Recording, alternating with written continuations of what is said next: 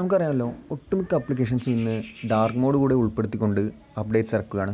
ഈ dark mode നമ്മുടെ കണ്ണിന് തരുന്ന റിലാക്സേഷൻ കുറച്ചൊന്നുമല്ല. അപ്പോൾ ഇന്നത്തെ വീഡിയോയിൽ നമുക്ക് എങ്ങനെയാണ് ഗൂഗിൾ ക്രോം ബ്രൗസറിൽ ഡാർക്ക് മോഡ് ഫീച്ചർ എനേബിൾ ചെയ്യുന്നതെന്ന് നോക്കാം.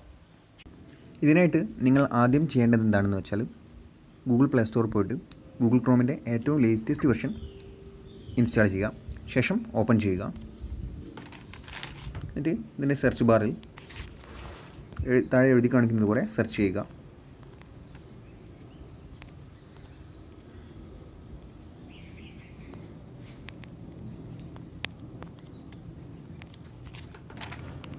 ശേഷം വരുന്ന ക്രോം ഫ്ലാഗ്സിന്റെ പേജിൽ സെർച്ച് ബാറിൽ ക്രോമിന്റെ സെർച്ച് ബാറിലല്ല അതിന്റെ തൊട്ട് താഴെ കാണുന്ന ക്രോം ഫ്ലാഗ്സിന്റെ സെർച്ച് ഫ്ലാഗ്സ് എന്നതിൽ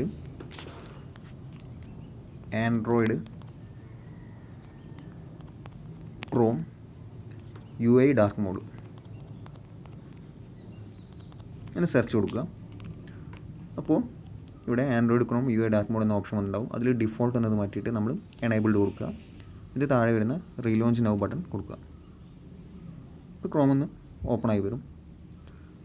നോർമലി കളറൊന്നും മാറിയിട്ടുണ്ടാവില്ല. ജസ്റ്റ് സെറ്റിങ്സ് ക്രോമിന്റെ ഈ മേലുള്ള മൂന്ന് ഡോട്ട് ക്ലിക്ക് ചെയ്തിട്ട് സെറ്റിങ്സ് എടുത്ത് നോക്കുക. ഡാർക്ക് മോഡ് എന്ന ഓപ്ഷൻ ഒന്നും വന്നിട്ടില്ല വന്നിട്ടില്ല.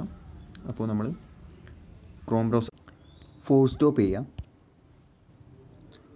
ഫോർ സ്റ്റോപ്പ് എന്നതിൽ ക്ലിക്ക് ചെയ്യുക ശേഷം വീണ്ടും ഓപ്പൺ ചെയ്യുക.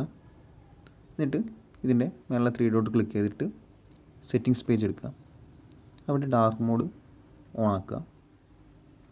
ശേഷം നോക്കിയാൽ ഈ മേലുള്ള സ്റ്റാറ്റസ് ബാറും ഈ സെറ്റിങ്സിന്റെ പേജും ഡാർക്ക് മോഡിലായിട്ടുണ്ടാവും ഇനി നമുക്ക് ഈ വെബ്സൈറ്റ് കണ്ടൻസ് അഥവാ ഇപ്പോൾ വൈറ്റ് കളറിൽ കാണിക്കുന്ന കണ്ടൻസും കൂടി ഡാർക്ക് മോഡിലാക്കണമെങ്കിൽ ഈ സെർച്ച് ഫ്ലാഗ്സ് എന്ന ഓപ്ഷനിൽ തന്നെ